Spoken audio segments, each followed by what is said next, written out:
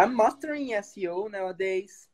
And after that, I'm going to study a little bit of Facebook ads, Instagram ads, and um, customer experience. I think you, you said to master as well.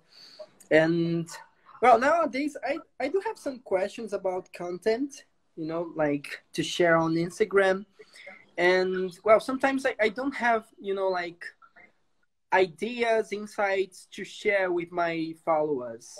And when that happens to you, what do you do? Interesting question. Uh,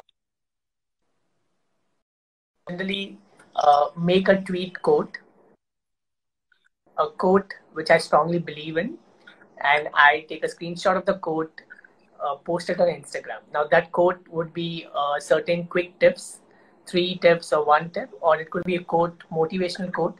This is what I generally do in case I don't have a detailed insight on certain topic. So, so that's that's what I generally do.